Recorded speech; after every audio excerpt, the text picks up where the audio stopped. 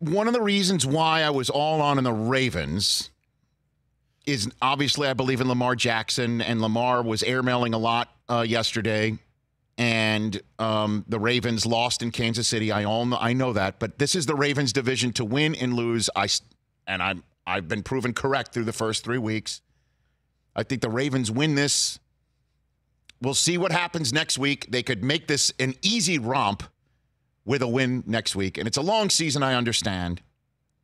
But my concern about the Browns was putting all these parts together and everyone's all excited. But the one man at the helm had never done it before, never been a head coach before, never called plays for a full season before. And now he's going to do it at the same time. He's got to figure out down and distance and time and timeouts and personnel groups that are being handled on his behalf might not be, he might not have his finger fully on that pulse because he's calling the plays and figuring out timeouts and figuring out down and distance. And how will Freddie Kitchens handle all that? And then how will he handle the blowback in games in which he does not execute that to perfection? Well, let's see how the next few days pan out. Because last night on Sunday Night Football, in a winnable game at home, because the defense, to its credit, missing the entire secondary, was picking off Goff three times. They let Kupp go crazy and Cooks have a nice night, but they erased Todd Gurley.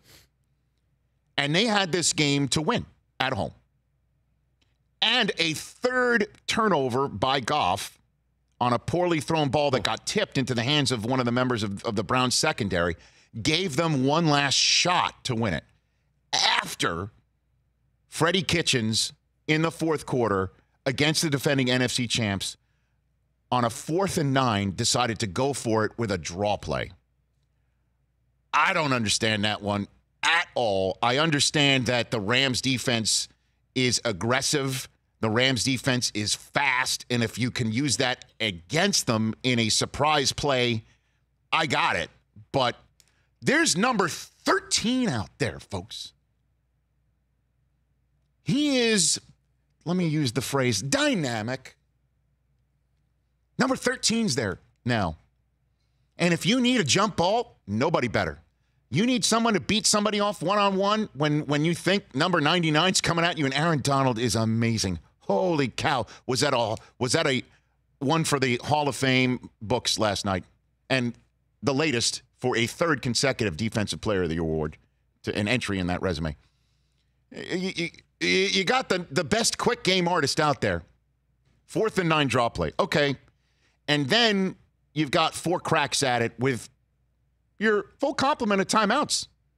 Don't run it once. Don't find Odell Beckham once. None of it works. And then your quarterback is suddenly um, running out of the pocket.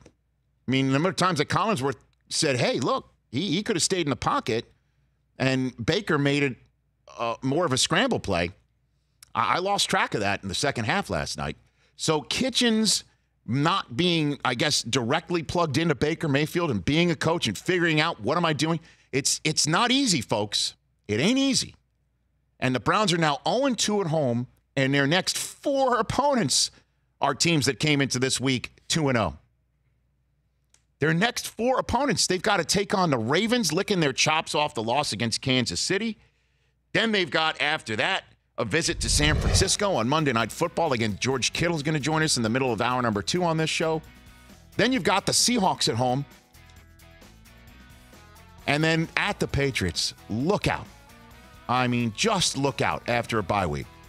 So here was Kitchens after the game last night. You know, I got to do a better job during the course of the week, putting these guys in better situations, and then on game day. So, um, you know, if you're looking to blame somebody, blame me. Don't blame any of our players. Don't blame any of our other coaches. Just blame me because I can take it. All right. So, um, you know, just blame me. Go write your article and say I messed the game up. Go write your article and say it's my fault the, the thing's not looking like it did last year because of this.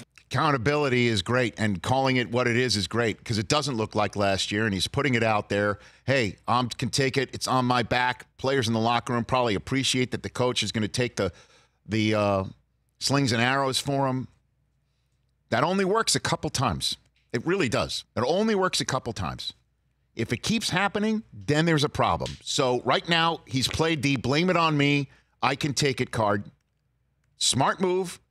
I thought that maybe that card would be played by him sometime in the middle of the season because it's Landry, it's Odell, it's Baker Mayfield, it's Chubb. It's just, it's not an easy gig. It's not simple. And that's why I'm concerned about the Browns. Big time. That was a game they should have won last night, or at least forced into overtime. For more of The Rich Eisen Show, tune to Audience Channel 239 on DirecTV for free on BR Live or download the Rich Eisen Show app.